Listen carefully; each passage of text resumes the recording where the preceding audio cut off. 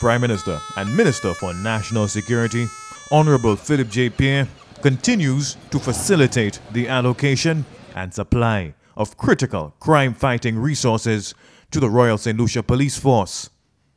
Prime Minister Pierre has secured special operational equipment and more than $400,000 from the Republic of China on Taiwan to equip the Forensic Services Unit with cutting edge firearms examinations and analysis capabilities.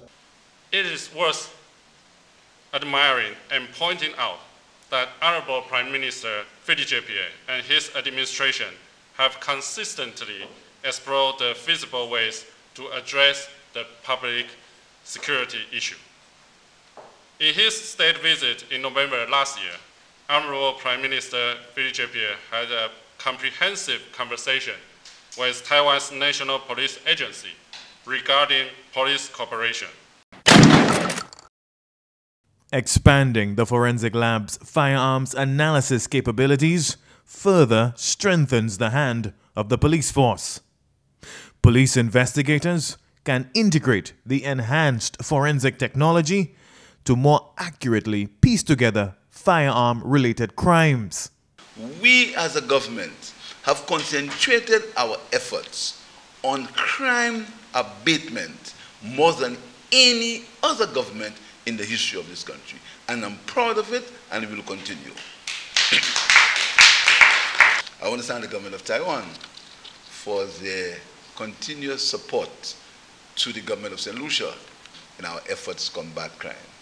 The Forensic Services Unit will have the capacity to conduct DNA analysis on firearms, restore serial numbers to trace guns and potentially identify users of a gun, and link firearms with crime scenes or perpetrators. The unit will also be capable of linking crime scenes in the absence of having a physical weapon for comparison. Let me encourage officers to continue working hard to make St. Lucia a better place, especially as it relates to the, the, um, the, the funding to assist us in forensic labs, to assist us in tracing firearms. It is very vital at this time. Very often criminals think that they can commit crime with impunity and escape with this. But today, we are letting you know that we are determined to put whatever we are going to receive today into use and to hold you accountable for your actions. The Forensic Services Unit is attached to St. Lucia's Forensic Science Laboratory, officially recognized as a center of excellence for regional forensics and currently the only forensic lab in the Eastern Caribbean region with A2LA accreditation.